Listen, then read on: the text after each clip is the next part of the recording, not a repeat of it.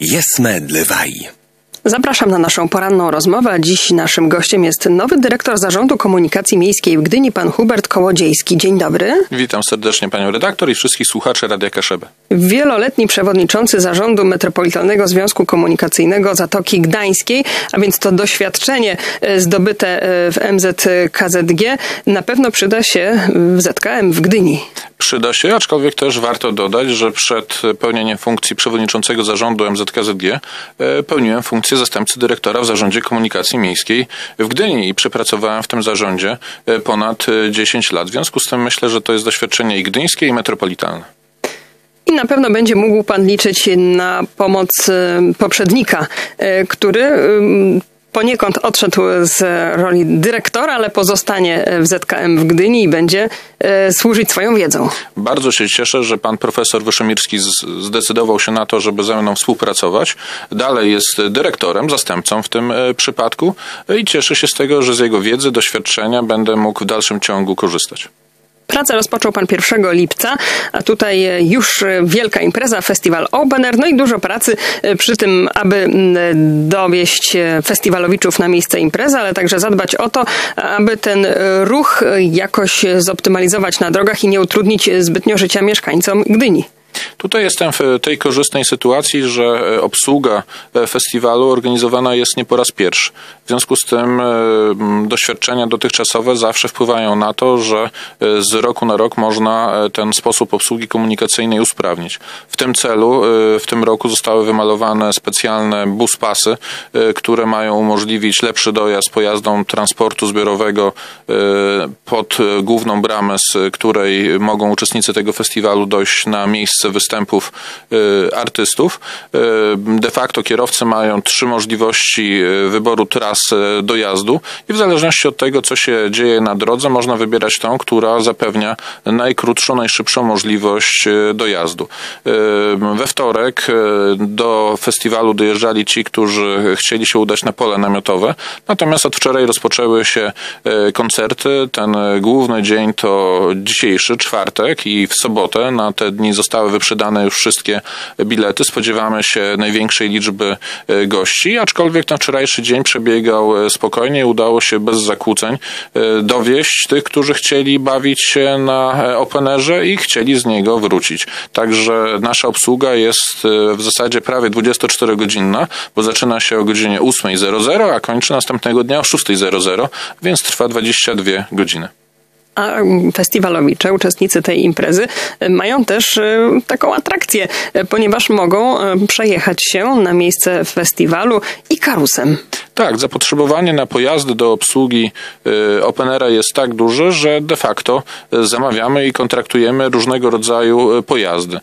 W tym roku bardzo się cieszymy, że również i kultowy Ikarus, jak jest nazywany, w tej obsłudze bierze udział i myślę, że jest to niesamowita atrakcja. Bardzo się cieszymy, bo od wielu lat właściciel tego Ikarusa, pan Staniszewski, wspomaga nas i w tym roku dzielnie na razie Ikarus się sprawuje, stanowiąc nie lada atrakcję dla uczestników festiwalu. A ile autobusów musieliście Państwo, że tak powiem, zakontraktować na czas tej imprezy? No, to jest blisko 100 autobusów, które e, w tej obsłudze komunikacyjnej biorą e, udział. Są to autobusy gdyńskie i właśnie wypożyczone z różnych przedsiębiorstw, e, które współpracują z Zarządem Komunikacji Miejskiej w Gdyni, ale nie tylko. Są też firmy, które zostały zakontraktowane tylko i wyłącznie w celu należytej obsługi tej imprezy. Czas wakacji to czas, kiedy pojawiają się autobusy jeżdżące na plażę typu MK, która dojeżdża do Rewy, ale to nie jedyny autobus Powiedzmy i przypomnijmy słuchaczom o tym, którymi autobusami na jaką plażę będą mogli dojechać i co w wakacje e, czeka ich właśnie mm, w ramach usług świadczonych przez ZKM Gdynia. E, jeśli można, to chciałbym tutaj naszych słuchaczy odesłać do strony internetowej Zarządu Komunikacji Miejskiej w Gdyni, na której można te szczegółowe informacje e, zobaczyć, poznać z rozkładami jazdy, ze szczegółową informacją. Natomiast chciałbym, jeżeli można, zwrócić uwagę na nową ofertę, która zostaje wprowadzona od najbliższego poniedziałku. Otóż uruchamiamy linię 309, która stanowi takie połączenie czy rozwinięcie oferty linii 109 i 209, czyli to będzie linia, która będzie dojeżdżała do plaży w Babich Dołach. Jest to nowość. Myślę, że warto pojechać tą linią 309 po to, żeby dojechać na samą plażę, bo dosłownie z autobusu wychodzi się na piasek e, w, na plaży w Babich Dołach. Od razu e, spotykamy piękny widok e, torpedowni.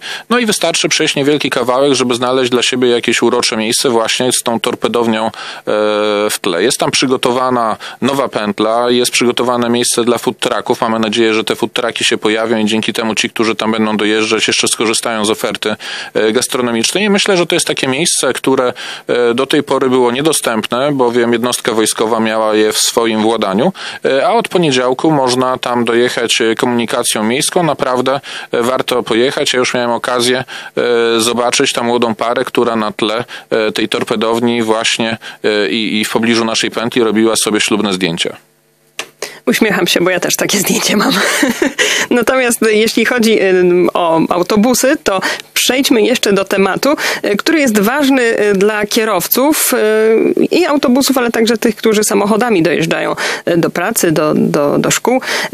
Buspas i pięć odcinków takich buspasów na ulicy Morskiej. Na jakim etapie jest ich budowa w tej chwili?